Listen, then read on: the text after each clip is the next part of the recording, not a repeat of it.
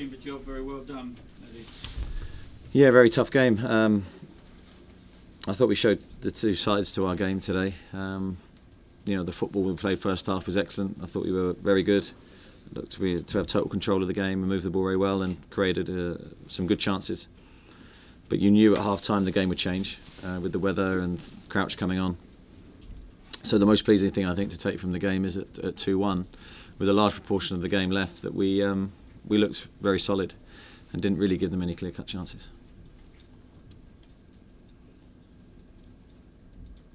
After obviously it's not been the best of starts of, to the season, to, to say the least, but you've obviously got the group very much committed to what they're doing.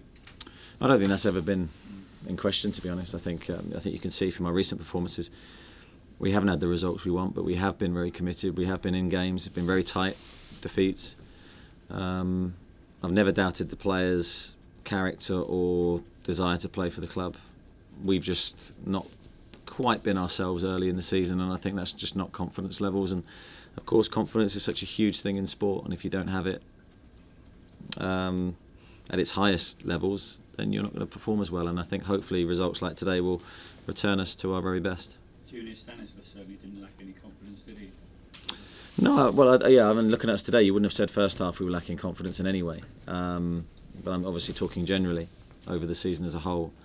Um, I thought today we looked supremely confident early in the game, and uh, as I say, I was very pleased with the players that came in. They haven't played for some time. You know, two centre forwards did very well and, and, looked a real threat. I mean, Stanislas is one of those who doesn't ever command a great deal of, um, of uh, attention, but he's a very consistent performer.